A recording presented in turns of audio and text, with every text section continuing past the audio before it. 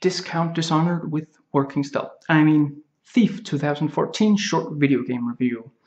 You are thrown into the middle of a story revol revolving around the emo, goth, snarky, angsty young Erin who never ceases to be obnoxious, although thankfully she is just mysterious and a woman of few words for most of the game as you try to figure out if she's dead and contacting you from the afterlife, if she's alive somewhere, what is what is exactly going on. This is not the thief of the first three games. It is, however, a good stealth game overall.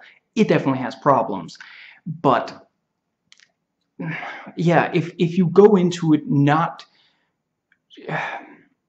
not comparing it too much to the first three and only like or at least only in overall gameplay and a sort of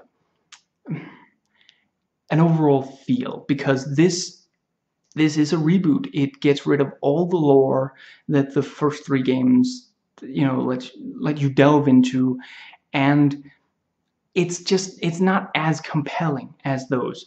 However the plot is moving from you know right out of the gate and you know something new happens to develop it in every single mission.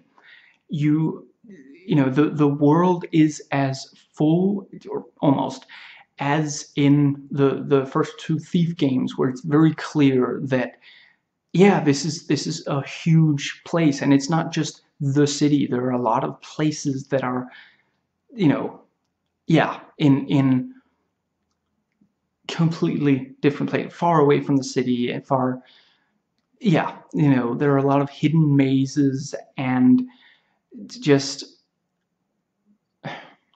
yeah areas where you might encounter you might expect to encounter vicious animals or you know supernatural enemies. Unfortunately there's almost nothing of that in this and that is why the you know either that's why the fighting sucks or the fighting sucks is why but it boils down to you spend a lot of time going around empty areas and that is obviously not the, what you really want to do in a stealth game. You want to sneak past enemies.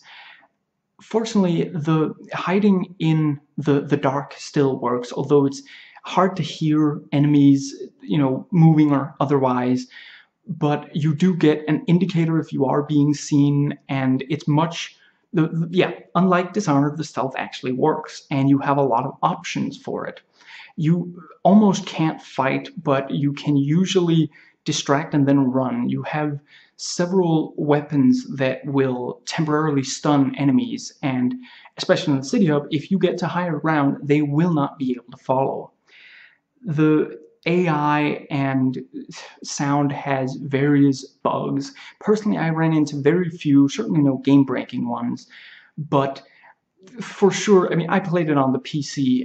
I know that some, I, I'm not sure if it's PS3 or PS4, some have experienced a lot of bugs there and really devastating ones. And yeah, that is absolutely, I, I don't blame them for not.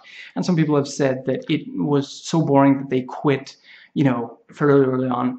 I agree that it should grab you, but if you give it the first two missions or so and you're still not into it, then I agree, then you're probably not gonna be. But yeah, for me, it was, it slowly built to that, and yeah, it gets a lot right about the overall Thief experience, just really making it a lot more linear and limited, but still making it possible. You can go through this entire game. You are never forced to straight up fight someone else and you can, you know, and conversely, you can run through this game and knock out or kill not quite anyone, but a lot.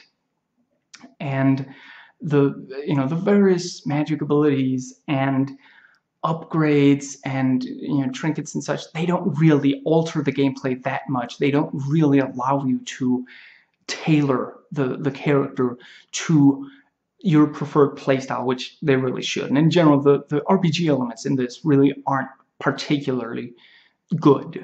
But yeah, the, the missions are enjoyable and each is memorable in its own way with probably the, the real standout is the Asylum, which unfortunately is clearly a tribute to the Asylum of the third game, which was the actual standout of that game because that was the first time a Thief game had done a level quite like that. But here it does actually fit. It doesn't feel like the Master Thief suddenly just took a detour into Silent Hill.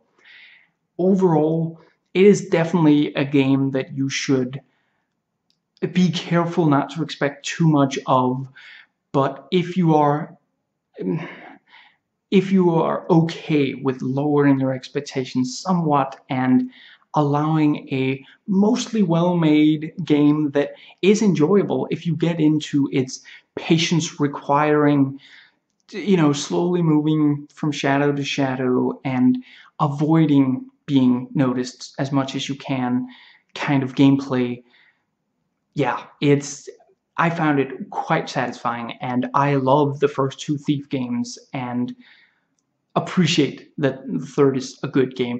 Definitely this does not reach the level of any of them, but it gets a lot right. If you like this review and want a more detailed one, the link is in the description box. I've reviewed other parts of this franchise, the links are in the description box. Please comment, thumbs up, and subscribe for more content.